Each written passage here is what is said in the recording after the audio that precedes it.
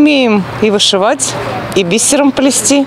Галина Троицких в этом районе человек известный. В местном клубе занимается с детьми, учит их разным премудростям. Но, говорит, сама совершила непростительную ошибку. Зашла в подъезд с незнакомым молодым человеком. Она разносила предвыборный агитационный материал и даже подумать не могла, что средь бела дня на нее нападут. Грабитель сорвал цепочку. На помощь позвала, конечно, кричала. Сначала вернулась девочка из подъезда, подросток.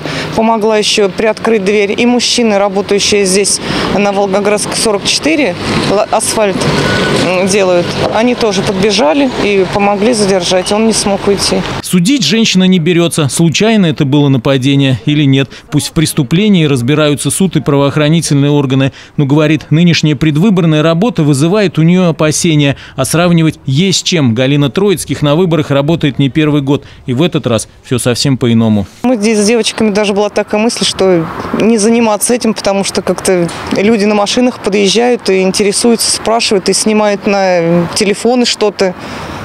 Вообще как-то в этом году очень странно и уже боязно.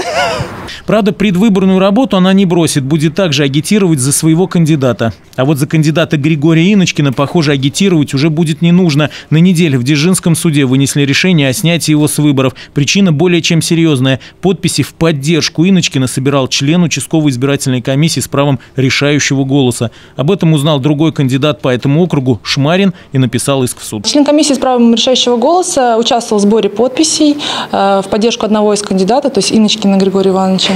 А законом это недопустимо. Подписи, которые собирал член избиркома, исключили. И вышло, что кандидат Иночкин зарегистрирован быть не может. Получается, сам Иночкин, по сути, ничего не нарушал. Он мог и не знать, что члену избирательной комиссии подписи собирать запрещено. Почему это не знал сам член избиркома? Вопрос, который можно задавать, но который теперь уже ничего не изменит.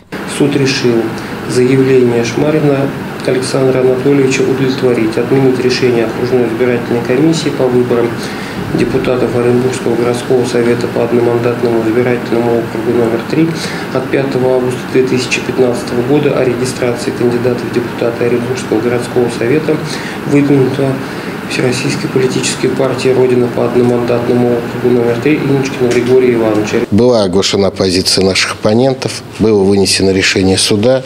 Мы будем реагировать на него строго в рамках закона и в установленном порядке, соблюдая Конституцию России и интересы нашего общества. Решение суда будут обжаловать, но время на агитацию уже будет упущено. До выборов меньше месяца. И то, что это время у судей будет горячим, очевидно. Только в пятницу и только в Дзержинском суде было сразу несколько дел по кандидатам в депутаты. Одних снимали, другие пытались восстановиться.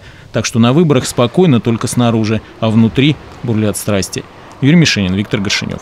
Наше время.